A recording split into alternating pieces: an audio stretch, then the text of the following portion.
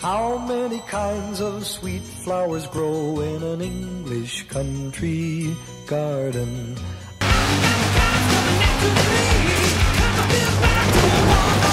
I'll tell you now of some that I know, and those I miss you'll surely pardon.